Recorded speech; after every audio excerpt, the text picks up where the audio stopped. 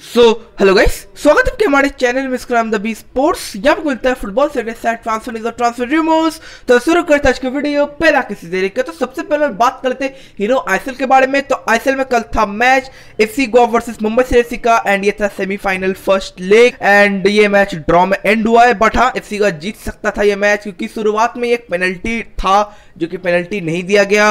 And उसके बाद end moment में आते आते मुर्तादा फॉल ने एक बहुत ही ज़्यादा डेडली टैकल किया था, क्योंकि उस टैकल से मैंने देखा है लोगों के पैर टूटते हुए तो बहुत ज़्यादा डेडली टैकल था। रेड कार्ड मिल सकता था बट येलो कार्ड दिया गया, मुझे समझ में नहीं आया क्यों रेड कार्ड देना चाहिए था उस टैकल में।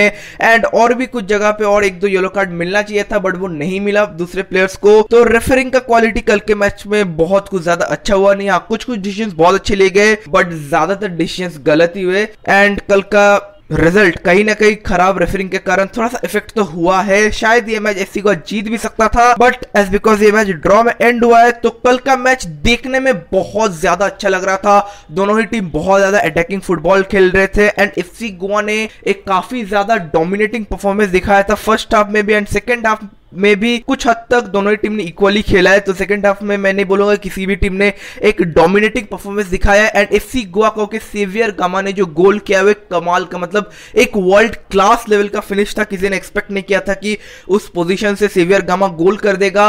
एंड हुगो बुमोस ने जो गोल किया है मुंबई से एफसी का, वो भी एक मैं बोलूँगा वर्ल्ड क्लास फिनिश मतलब हुगो बुमोस से हम लोग एक्सपेक्ट करते हैं कि वो ऐसे फिनिश करेंगे। एंड मुर्तादा फॉल ने जो सेकंड गोल किया, वो मैं बोलूँगा थोड़ा सा खराब डिफेंडिंग बट हाँ सेरिटन फर्नांडिस का कल के मैच में इंजरी काफ़ी ज़्यादा सीरियस हो सकता है एफसी गोवा के फ्यूचर मैचेस में, क्योंकि लिंडर डिकुना ने अच्छा परफॉर्मेंस किया है अटैक में बट सेरिटन फर्नांडिस ने, जैसा सेरिटन फर्नांडिस का परफॉर्मेंस है कि वो अटैक और डिफेंस दोनों ही बहुत ही ज़्यादा अच्छे से संभाल सकते हैं। लिंडर डिकुना का कल के मैच में दिख रहा था कि अटैक में वो बहुत अच्छा है बट डिफेंस में उतना अच्छे नहीं है लिंडर डिकुना बट हाँ डेफिनेटली उनको भी थोड़ा सा प्ले टाइम चाहिए। ये उनका सेकेंड मैच था एंड ये सेमीफाइनल था। तो हम लोग को ये भी ध्यान रखना पड़ेगा।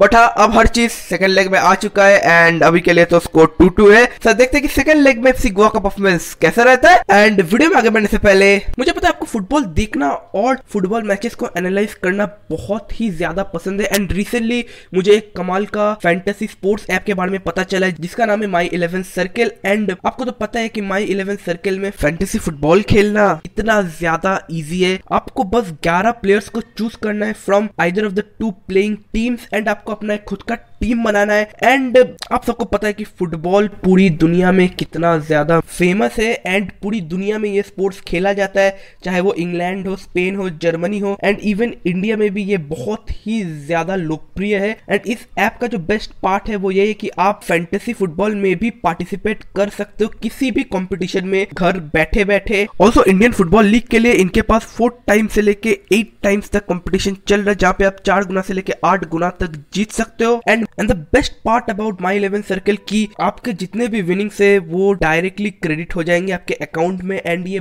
बहुत ही ज़्यादा सिक्योर है। एंड ये कुछ विनर्स है जिन्होंने माई इलेवन सर्कल खेल के करोड़पति बने। सब किस बात का वेट कर रहे हो? डाउनलोड करो ये ऐप लिंक आपको डिस्क्रिप्शन में नीचे मिल जाएगा। And make your team on my eleven circle and also आपको पंद्रह सौ रुपए का एक बोनस मिलेगा अपने पहले डिपॉजिट में। This game involve an element of financial risk and may be addictive please play responsibly and at your own risk तो हम बात करते हैं आज के मैच के बारे में। तो आज का जो मैच है वो एडी के Mohun Bagan versus North East United F का एक बहुत ही ज़्यादा कांटे का मैच हो सकता है, क्योंकि नॉर्थ ईस्ट का रिसेंट परफॉर्मेंस बहुत ज़्यादा अच्छा है खालिद जमील के अंडर।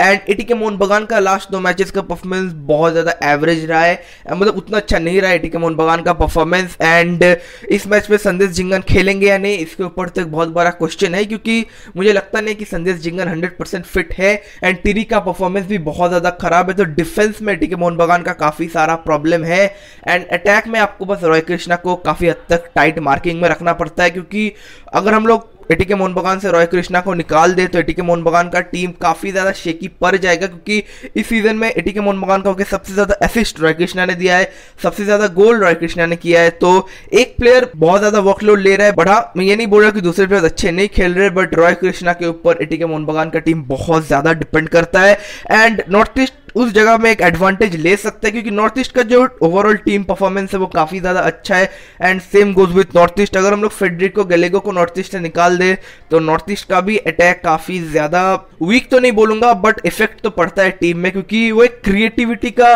कमी दिख जाता है, क्योंकि फेडरिको गलेगो बहुत ज़्यादा क्रिएटिव प्लेयर है, इसको लेके कोई क्वेश्चन नहीं उठा सकता। तो हाँ मेरे हिसाब से काफ़ी ज़्यादा इक्वल मैच होने का चांसेस है एंड एज बिकॉज़ ये फ़र्स्ट लेग है, इसके बाद एक और लेग होगा तो दोनों ही टीम ट्राई करेगा कि इस लेग में ज़्यादा गोल ना कंसीड किया जाए। बट अगर एक दो गोल से वो ये लेग जीत सकते तो नेक्स्ट लेग में डेफिनेटली एक हल्का सा एडवांटेज रहता है। सर देखते क्या होता है। सो नेक्स्ट मुंबई सीरीज़ की तरफ़ से। तो मुंबई सीरीज़ ने कमाल का ऑफ़र दिया है ब्राइटन और बखारे को। मतलब बहुत ही ज़्यादा बढ़िया ऑफ़र मिला है ब्राइटन और बखारे को। एंड डेफिनेटली ब्राइटन और बखारे मुंबई सीरीज़ में जा सकते बट मुझे नहीं लगता पर्सनली मुझे नहीं लगता कि ब्राइटन और बखारे मुंबई सीरीज़ में जाएँगे, क्योंकि ब्राइटन और बखारे के साथ रॉबी फोलर का जो रिलेशन है, वो बहुत ज़्यादा अच्छा है। And you know coach player हम लोग बोल सकते हैं ब्राइटन और बखारे को। एंड इसी की वजह से मुझे नहीं लगता कि ब्राइटन और बखारे मुंबई सीरीज़ में जाएँगे। बट हाँ मुंबई सीरीज़ को अगर कोई प्लेयर चाहिए तो वो बहुत एक्सट्रीम तक जा सकता है। लास्ट सीज़न हम लोगों ने देखा है कि जब सबने बोल दिया था कि नहीं हुगो बुमोस मुंबई सीरीज़ में नहीं जाएँगे, तब भी मुंबई सीरीज़ ने रिलीज़ क्लॉज देखी हुगो बुमोस को अपनी टीम में शामिल करवाया है। बट हाँ उसमें प्लेयर भी राज़ी होना चाहिए। मतलब अगर प्लेयर ही बोले कि वो नहीं मुंबई सीरीज़ में जाना चाहते तो वो अलग बात है। बट अगर ब्राइट एंड बखारे बोलते कि हाँ वो मुंबई सीरीज़ में जाना चाहते तो वो इजीली जा सकते क्योंकि ब्राइट का जो कॉन्ट्रैक्ट है ईस्ट बंगाल के साथ वो खत्म हो चुका है मतलब खत्म हो जाएगा मई में। तो इसी की वजह से ब्राइट एंड बखारे मुंबई सीरीज़ में जा सकते एंड एज बिकॉज़ मुंबई सीरीज़ का जो फाइनेंशियल कंडीशन है, वो बहुत ज़्यादा अच्छा है, बहुत ज़्यादा स्ट्रॉन्ग है क्योंकि सिटी ग्रुप का बैकिंग है मुंबई सीरीज़ के पास। तो डेफिनेटली ये डील हो सकता है बट अभी बस एक ऑफ़र मिला है ब्राइटन और बखारे को, कुछ भी ज़्यादा डिसीज़न नहीं लिया गया है। एंड मुझे नहीं लगता कि कोई प्रॉपर बात भी हुआ है ब्राइटन और बखारे के एजेंट के साथ मुंबई के मैनेजमेंट का। सो so, अभी के लिए तो ये बहुत इनिशियल स्टेजेस में है एंड अगर इससे रिलेटेड फर्दर कोई अपडेट आएगा इन फ्यूचर तो आपको चैनल में मिल जाएगा। सो नेक्स्ट अगर उड़ीसा एफसी की तरफ़ से तो Steven Taylor finally Odisha FC छोड़ के वेलिंगटन फिनिक्स में जा चुके एंड इस सीज़न में जितना हाइप क्रिएट हुआ था कि स्टीवन टेलर बहुत बड़ा डिफेंडर है एंड सबसे बेस्ट डिफेंडर होगा एसएल का, वैसा ज़्यादा कुछ हम लोग को देखने को मिला नहीं। एंड थोड़ा सा ओवर रेटेड में बोलूँगा बट हाँ डेफिनेटली मैं बस उनको इस सीज़न के आईसीएल के परफॉर्मेंस के ऊपर जज कर रहा हूँ। एंड मैं ये नहीं बोला कि ओवरऑल वो बहुत ओवर प्लेयर है। नहीं पास्ट का परफॉर्मेंस अच्छा है बट करंट परफॉर्मेंस ही मैटर करता है ना आईएसएल में। तो वो उनका उतना अच्छा नहीं था एंड इसी के वजह से वो वेलिंगटन फिनिक्स में वापस जा चुके एंड हाँ ये कोई लोन डील नहीं था, उनका कॉन्ट्रैक्ट उड़ीसा सी के साथ खत्म हो चुका था। एंड इसी के वजह से वो फिर से वेलिंगटन फिनिक्स के साथ एक कॉन्ट्रैक्ट साइन किया उन्होंने। तीन से चार महीने का तो बेसिकली जब तक ए लीग खत्म नहीं होता, तब तक वो ए लीग में खेलेंगे। एंड उसके बाद फिर से वो फ्री एजेंट बन जाएँगे। या फिर कोई भी दूसरे आईएसएल के क्लब में जा सकते हैं, वो तो अभी नहीं पता। बट हाँ मेरे हिसाब से उड़ीसा से कोई दूसरा नया डिफेंडर को ही लाएगा अपने टीम में। सर, देखते क्या होता है। सर ईस्ट बंगाल की तरफ़ से तो ईस्ट बंगाल दो नए इंडियन प्लेयर्स के ऊपर इंटरेस्टेड है, क्योंकि इस साल ईस्ट बंगाल का जो इंडियन साइड था, वो बहुत ज़्यादा वीक था। एंड वो दो नए इंडियन प्लेयर्स है टेलम सुरंजीत सिंह एंड सोंगपू सिंह से। तो टेलेम सुरंजीत सिंह एंड मैं सुरंजीत सिंह ही बोलता हूँ। तो सुरंजीत सिंह एक सेंट्रल डिफेंसिव मिडफील्ड पोजीशन के प्लेयर है। उनका एज 21 वो राउंड ग्लस पंजाब एफसी का होकर खेलते हैं। एंड उन्होंने इस साल आई लीग में सात मैच खेला है। एंड उनका परफॉर्मेंस ठीक ठाक है। उनको जितना ज़्यादा मौका मिलेगा, उनका परफॉर्मेंस और भी ज़्यादा इंप्रूव होगा।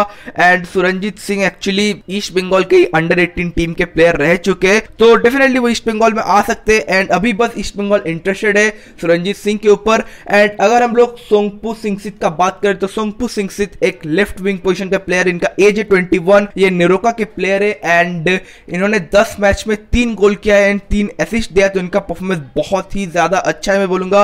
अगर हम लोग सिर्फ़ इंडिविजुअल ब्रिलियंसी का बात करें तो डेफिनेटली सोंगपू सिंह सित बहुत सारे पोजिशन में खेल सकते हैं। ईस्ट बंगाल में इनके आने के चांसेस सबसे ज़्यादा है। बट मुझे लगता है इन दोनों ही प्लेयर्स का साइनिंग हो जाएगा बट हाँ सोंगपू सिंह सित का कॉन्ट्रैक्ट निरोका के साथ 2022 के मई तक है। तो अगर ईस्ट बंगाल को सोंगपू टीपू सिंह सित का साइनिंग कंप्लीट करना है तो उनको एक ट्रांसफ़र फ़ी देना पड़ेगा नेरोका को, या फिर अगर नेरोका के साथ सोमपू सिंह सित का कॉन्ट्रैक्ट टर्मिनेट होता है बट वो अलग बात है बट मुझे लगता है कहीं ना कहीं अगर सोमपू सिंह सित ईस्ट बंगाल में आते तो ईस्ट बंगाल को एक ट्रांसफ़र फ़ी देना पड़ेगा। सर, देखते कि क्या ये दोनों प्लेयर्स ईस्ट बंगाल में आते हैं नहीं। सो नेक्स्ट इंटरनेशनल तो इंटरनेशनल आज बुंडेस लीगा तो बुंडेस लीगा में आज मैच है Bayern Munich versus Borussia Dortmund एक बहुत ही ज़्यादा इंटरेस्टिंग मैच क्योंकि currently Bayern Munich number one position में है and Borussia Dortmund number fifth position में है एंड ये एक डरबी है बुंडेसलीगा का डरबी हम लोग बोल सकते हैं Bayern Munich versus Borussia Dortmund and Borussia Dortmund का जो रिसेंट परफॉर्मेंस है, वो बहुत ज़्यादा अच्छा है. बेसिकली हालांड एंड सेंचो के ऊपर बहुत ज़्यादा डिपेंड करता है बोरसा डॉटमुंड का परफॉर्मेंस एंड ब्रायन म्यूनिक बहुत ज़्यादा अटैकिंग खेलता है, ये हम सबको पता ही है. बट टफ तो डेफिनेटली होगा बोरसा डॉटमुंड के लिए. बट हाँ करेंटली जो बुंडेसलीगा का जो पॉइंट टेबल है अगर रेडबुल लिप्जिक को नंबर वन पोजीशन में जाना है तो उनको एक्सपेक्ट करना होगा कि बोरिसा डॉटमुंड ये मैच जीते या फिर एटलीस्ट एक ड्रॉ करे। तो टफ तो है बोरिसा डॉटमुंड के लिए ये मैच जीतना, क्योंकि ब्रायन म्यूनिक का जो रिसेंट परफॉर्मेंस है, वो बहुत ज़्यादा एग्रेसिव है मैं बोलूँगा। तो अगर गलती से भी ब्रायन म्यूनिक एक दो गोल कंसिड कर भी जाते तो वो तीन चार गोल करने का उनके पास वो एबिलिटी है। सो डेफिनेटली ब्रायन म्यूनिक इस मैच में काफ़ी बड़ा अपर हैंड रखते। एंड देखते कि ये मैच कौन जीतता है ब्रायन म्यूनिक या फिर बोरिसा डॉटमुंड सुरक्षित हमारे सीरिया की तरफ़ से तो सीरिया में आज मैच है जुवेंटस वर्सेस लाजियो। एक बहुत ही ज़्यादा इंटरेस्टिंग मैच, क्योंकि करेंटली जुवेंटस थर्ड पोजीशन में है एंड लाजियो सेवंथ पोजीशन में है। एंड लाजियो का जो फॉर्म है, वो थोड़ा सा डिग्रेड हुआ है लास्ट दो मैचेस में। मतलब जब से लाजियो ने ब्रायन म्यूनिक के अगेंस्ट में मैच खेला था यूएफए चैंपियंस लीग में एंड वो फोर वन से हारे थे, उसके बाद उन्होंने एक सीरिया का भी उन्होंने मैच खेला, जहाँ पे उनका परफॉर्मेंस बहुत ज़्यादा एवरेज लग रहा था, बहुत ज़्यादा डीमोटिवेटेड लग रहा था। एंड इसीलिए मेरे हिसाब से जुवेंटस के लिए मैच जितना ईजी तो होगा बट हाँ कुछ बोला नहीं जा सकता। कोई भी टीम को इस साल मैं सीरिया में हल्के में नहीं लूँगा, क्योंकि हर टीम का परफॉर्मेंस कहीं ना कहीं बहुत ज़्यादा अच्छा है एंड बहुत ज़्यादा इंप्रेसिव एटलीस्ट वो लोग ट्राई कर रहे बट अब बस लाजियो का लास्ट दो मैच का परफॉर्मेंस बहुत कुछ ज़्यादा अच्छा रहा नहीं है बट उससे पहले का परफॉर्मेंस काफ़ी ज़्यादा अच्छा रहा है। सर डेफिनेटली देखने लायक हो कि मैच कौन जीतता है जुवेंटस या फिर लाजियो सर एक्चुअली अगर पीएसजी की तरफ़ से तो पीएसजी इंटरेस्टेड है बेंजामिन मंडी के ऊपर। तो बेंजामिन मंडी जो कि मैनचेस्टर सिटी के प्लेयर है, उनका एज ट्वेंटी वो एक लेफ़्ट बैक पोजिशन के प्लेयर है एंड मेनली बेंजामिन मंडी बहुत ज़्यादा इंजरी प्रोन प्लेयर है एंड ज़्यादा टाइम वो बेंच में या फिर इंजर्ड ही होते हैं। एंड इसी के वजह से मैनचेस्टर सिटी ने भी ये डिसाइड किया कि उनको फ्रांस में ही हम लोग वापस भेजते हैं। एंड पीएसजी इंटरेस्टेड है, क्योंकि बेंजामिन मंडी बहुत अच्छे डिफेंडर है एंड लेफ़्ट बैक पोजिशन में उनका जो परफॉर्मेंस है, वो बहुत ज़्यादा अच्छा है। तो डेफिनेटली बेंजामिन मंडी पीएसजी में आ सकते हैं, क्योंकि मैनचेस्टर सिटी मुझे नहीं लगता कि बेंजामिन मंडी को और रखेंगे, क्योंकि जब से बेंजामिन मंडी मैनचेस्टर सिटी में आए हैं, वो तब से ज़्यादा टाइम इंजर्ड ही है। सो देखते हैं कि क्या बेंजामिन मंडी पीएसजी में आते हैं, नहीं? सो बस गाइस आज के लिए इतना ही। And not definitely my eleven circle app को चेकआउट करना मत भूलना। डिस्क्रिप्शन में पिन कमेंट में आपको लिंक मिल जाएगा। एंड डाउनलोड कीजिए माई इलेवन सर्कल सो बस गाइस आज के लिए इतना ही। अगर आपको वीडियो पसंद आए तो प्लीज़ लाइक शेयर और सब्सक्राइब कीजिए हमारे चैनल को। एंड बेल आइकन दबाना मत भूलेगा एंड कमेंट कीजिए इंस्टाग्राम पे। फॉलो करना इंस्टाग्राम का लिंक आपको डिस्क्रिप्शन में मिल जाएगा। तो थैंक यू वीडियो मैं मिलता हूँ अपने वीडियो के साथ। तब तक ले